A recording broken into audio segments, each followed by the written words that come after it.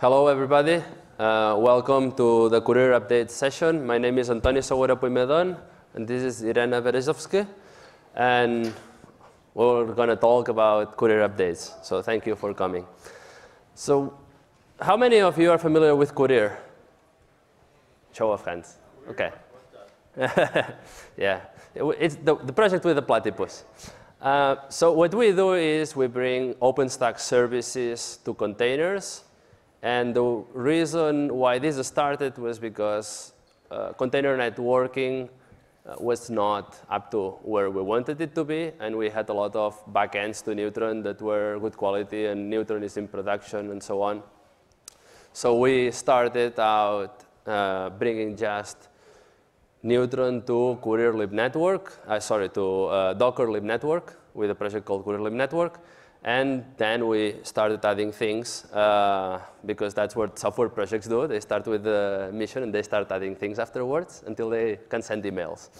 Uh, so we added support for Docker Swarm. First we started with just plain Docker, then Docker Swarm, uh, then uh, Kubernetes, and recently, we also added Cinder and Manila storage. So uh, to give you a bit of an idea about who is involved, uh, here you can see uh, a nice uh, slide about who is. This is Mondays, like estimated by Stackalytics, so make of that what you will. But uh, as you can see, we have quite a few companies. The one without the logo, the big one without the logo is independent. So I suspect some of the big uh, contributors doesn't have Stackalytics well set up. Uh, but we have uh, core contributors from most of those that have uh, a logo. And, and we want to thank all these companies for, for putting effort, and especially to the, to the people that are putting effort every day into the project. So the, the stats are 45 contributors for the last, last release. This includes sometimes people from Neutron making a one-off patch and stuff like that, but, but it's quite a bit of uh, contributors. Uh, I want to remind that if anybody has a question, you can stop me and ask me now. In the end, you can ask and really, don't be shy to ask about anything. If you think something is inaccurate or something you don't really understand, please go ahead and ask. So for Pike, which is going to be released uh, in not so long time, these are the, the features and, and, enhancements that we've been working on and that are already on master and that I'm going to demo tomorrow with, with Irena. Uh, so we made recently the first release is 0.1.0. So if you want to use it in production, you're free to shoot yourself in the foot uh, because it's, it's not 1.0.0 yet. Uh, we added uh, Kubernetes services support, and that is good uh, because without that, like in the previous uh, times, we only had services support in POCs. But now that we have it on master, we can start going after more and more improvements. And what this allows you is, if you have a, uh, an application and it, it has several pods, you can just target the cluster IP of the, of the service, and then it will load balance across them. And if you want more information about that, again, there is a deep dive on that tomorrow. Um, then the way we do that allows us to scale up and down the amount of pods that the service has, so it, you can respond to the load uh, needs of your application. So far, we only support Neutron LBaaS v2. That's our first, first implementation, but it's uh, Stevedore uh, enabled, so you can implement your own backend if you have different kind of uh, load balancers. And you could just call to them as long as uh, they play nice with, new, with your Neutron uh, backend, you're good to go. Uh, then we also added client and server side SSL. So when the Kuryr controller which is the, to, to give a bit of a, of a overview. Uh, we don't have a slide for that today, but tomorrow for this. But there is the Kuryr controller that is watching the Kubernetes API. And then uh, in each of the worker nodes, there is a, a CNI uh, executable. And both of them need to co connect to the Kubernetes API. So the way that they authenticate there is either with a token, which we don't support yet, or with a client-side certificate, or no authentication whatsoever. So what we added support for and we have merged and we will demo tomorrow is to use the, the client-side key and certificate. Uh, we also got a contribution recently to add Guru meditation reports so you can get more information about what's going on on the controller. And we have RDO packaging, so the demo tomorrow is, is using that because uh, installing from pip always makes me nervous. Uh, what we have in flight for Pike, some things will probably make it, some things may not make it. So the load balancer service type support is something that is already supported in Kubernetes for OpenStack, but how it works now is, so you have OpenStack VMs uh, in which you have Kubernetes clusters, and what you want is to make those services uh, accessible through one of the neutral load balancers. And there is a cloud provider that does that, but the problem is uh, it doesn't use uh, neutron ports for the pods, so there is double encapsulation most likely or some other problems like that. So the way we do that is just as we set up a load balancer for, um, for the service, load balancer type for us only means take a floating IP, bind it to that VIP, and, and you're done. Nothing more needs to be done. So it's, it's going to be a really small change that if I was not doing demos all the time uh, for this week, I would have done it in, in a day or two. So token support will also be helpful because uh, it will assist on something that Irene will explain later, which is uh, deployment. It, it is easier for applications to, to just use a token than to um, go to, with Open, OpenSSL, go to the CI and uh, to the CA and sign stuff. And finally, resource pools, uh, because one of the, the biggest bottleneck uh, for this integration is that for each port, sorry, for each pod that you create, you need to go to Neutron and get a port. Then you need to bind it. Then the, depends on which backend you use of Neutron, it needs to go and ask information about, um, about the port and so on, and that takes quite a long time. Uh, so that it will help a lot. Tomorrow we will show some graphs about that. Um, so for the other sub-projects, uh, Kuryr Network, we added uh, the Swarm mode support. I, I, don't know how many of you are familiar with it. Uh, between legacy Swarm and, and, and, Swarm mode. Do people know the difference? Otherwise, I can. All right, so Swarm mode basically was started, I think, 1.13, right? right? And uh, what it has is that it includes the cluster it, store itself and it makes some different assumptions, so it broke our plugin, but now that has been solved. And we support it in, in local scope mode, which means that the networks have to be defined on each of the machines, because there is a bug that, um, well, I don't need to go into the details of the bug, but basically with global, uh, it does the things different than, than before, and we need to, to add support for that. But one very cool thing that we had a user try this, this um, this weekend is the, the Docker plugin uh, infrastructure. So before, you either did Docker run and you had to run it yourself, or uh, you did pip and so on. So now it's nice that you just do Docker plugin install, and it already takes the, the container from Docker Hub. It tells you which volumes or which mount points it will, it will set up, and then you just need to place your configuration there. So it's, it's quite handy.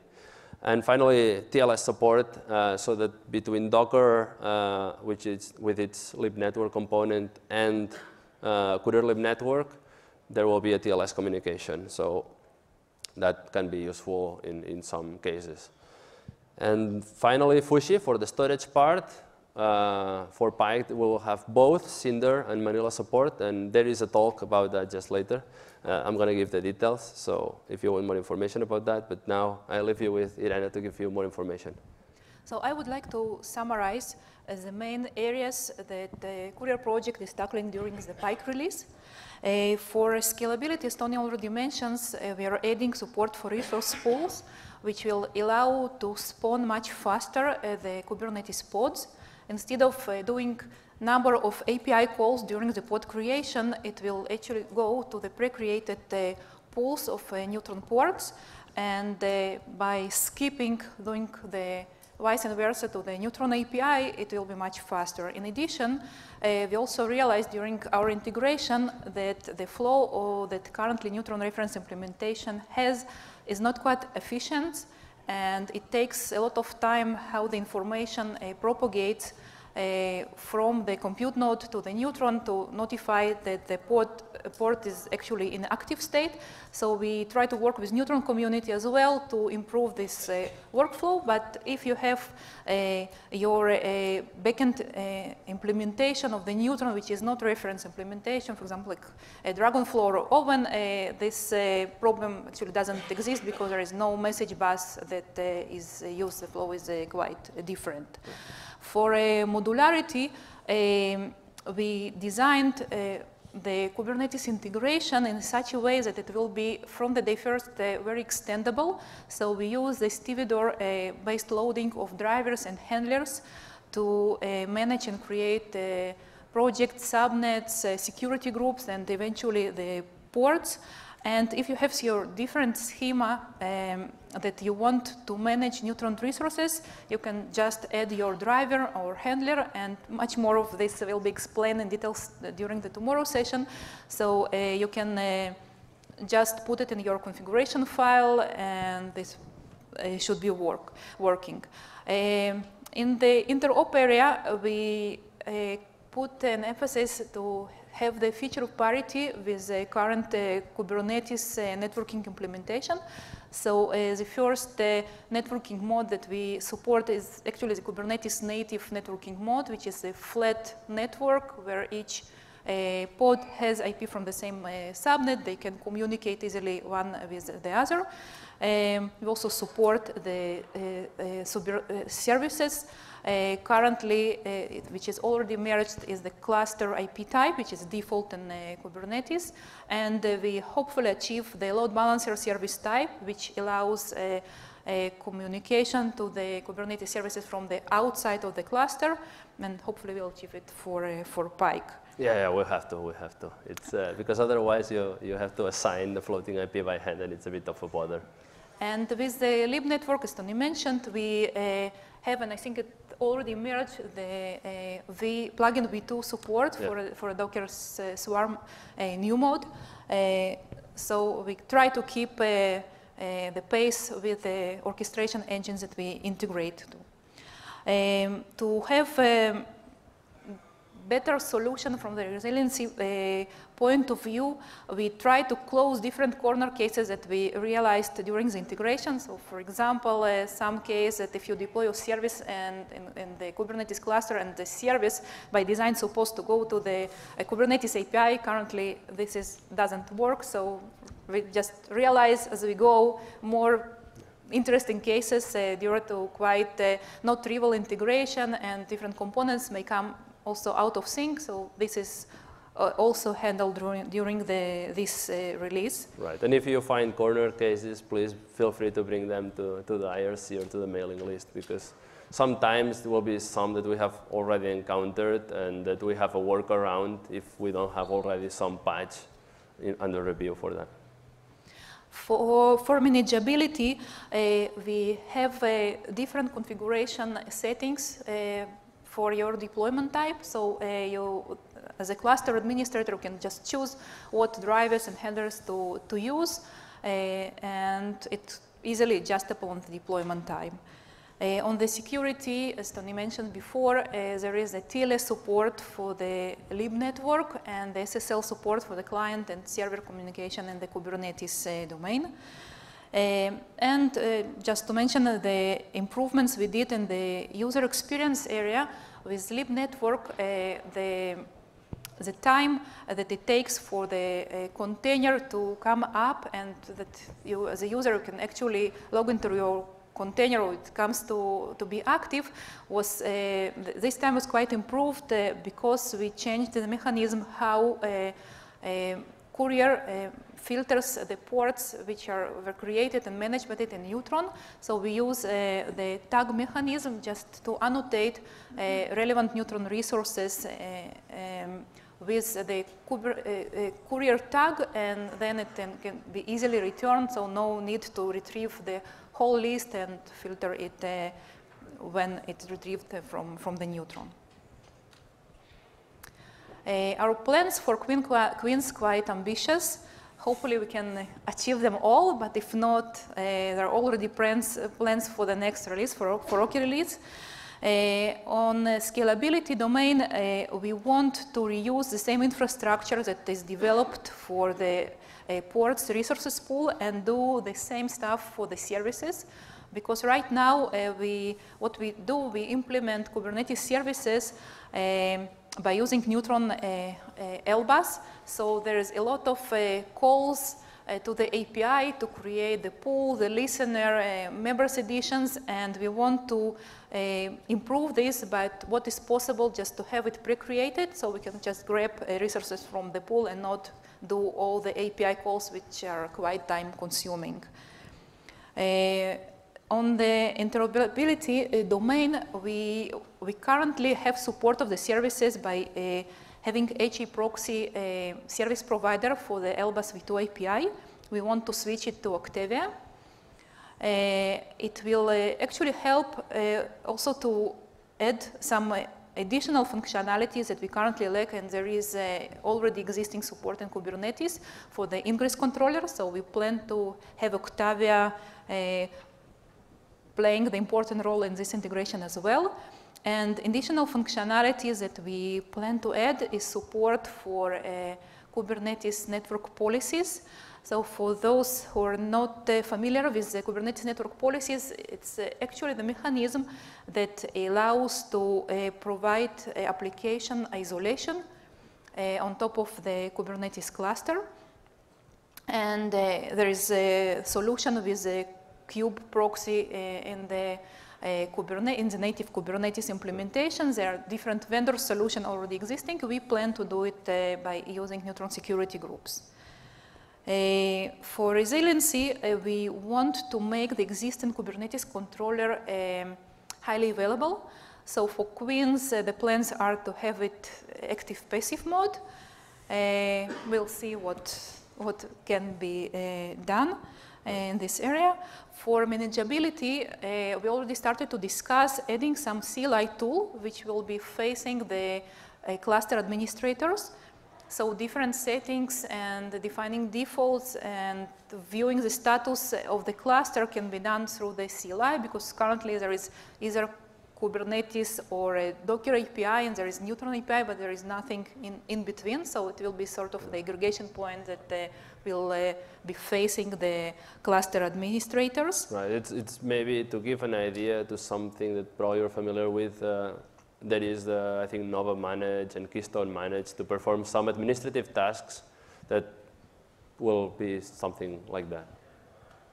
What we also plan to do is uh, to have our integration components, uh, especially for the Kubernetes, which uh, the Kubernetes controller, and we also have the CNI part. So we want these components to be hosted by Kubernetes and orchestrated by Kubernetes, uh, which does great job by orchestrating services. So our integration actually also the service. So why not use the same infrastructure?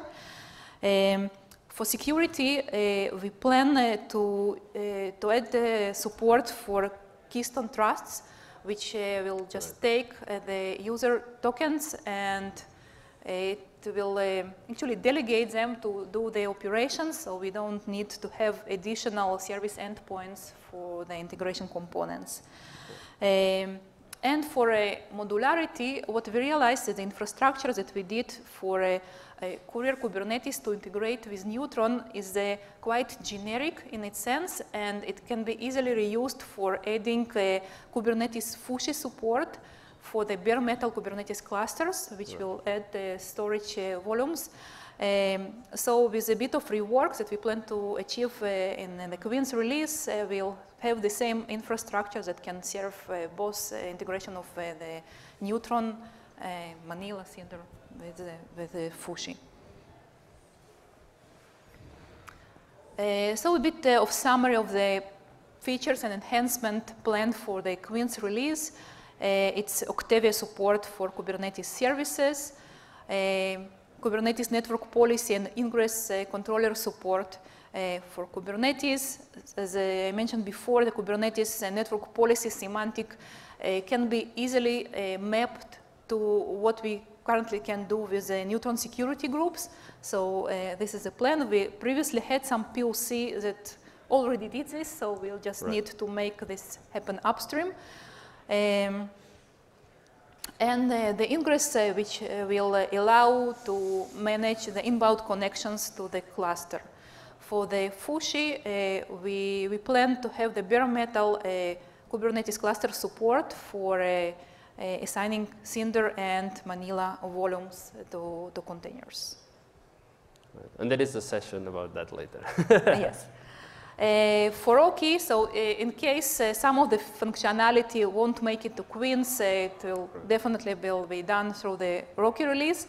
But in addition, we also uh, uh, took uh, plan to take care of uh, different um, items. For example, for scalability, we want uh, to scale our Kubernetes controller. So uh, hopefully it will be active passive in, uh, in the Queens release. But in Rocky, we want to have multiple uh, instances which will be working in the active active mode. So it won't only solve the high availability issue, but also uh, help with the load uh, distribution uh, of different tasks between, uh, between number of controllers. For uh, the interoperability and feature parity, uh, currently there is ongoing discussion of supporting multiple networks and multiple interfaces that happens in the Kubernetes networking special interest group. Uh, the same uh, questions were uh, raised uh, with the Kuryr team as well.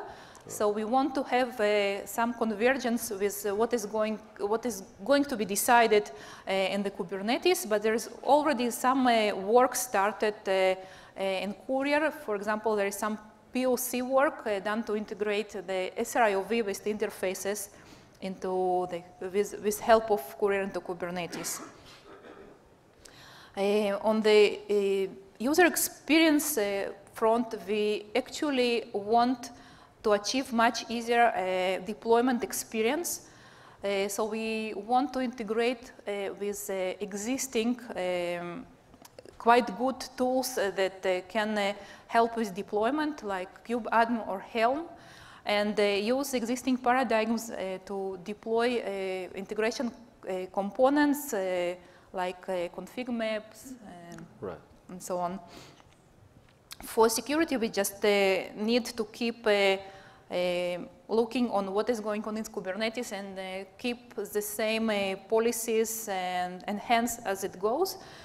Uh, and for modularity, we want to make sure that any third-party uh, drivers or handlers that uh, may be maintained somewhere and it's not mandatorily upstream uh, can be easily integrated into our existing uh, framework.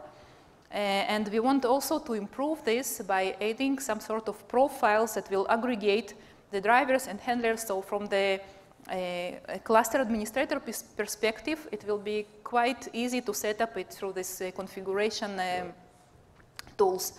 Uh, in addition, we want to enhance the CLI tool by adding uh, uh, some reports and statistics, especially from the controller side that can provide information of number of processed events, uh, the state of the pools, uh, so the, the administrator can easily tune the number of controllers and uh, the, the size of the pools and so on. So um, we need your help, either your operator or developer. In case you're operator, please help us to design not just cool technical solution, but solutions that will address the real uh, problems. So in this area, we will like to hear if uh, what kind of deployment uh, you, you need to support, either at bare metal or containers inside VMs. What is the scale of your cluster? and what kinds of workloads are you planning to run on your co- containers cluster.